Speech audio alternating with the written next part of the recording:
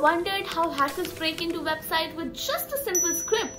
Well, let's see if this website is vulnerable to XSS.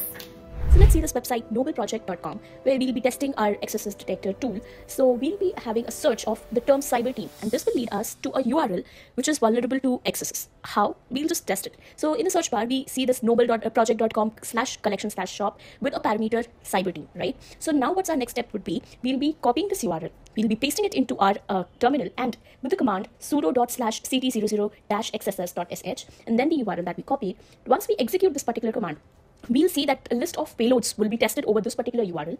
The URLs which will be having the vulnerability of XSS would be showed up in front of you. So let's test the URLs that we got. So we copied this particular URL and pasted it into our uh, Chrome browser. And once done, we'll see that there is an alert coming up of one that says one. Now this alert was given by us. That means there was an XSS vulnerability in this particular system. That's why we were able to give an alert.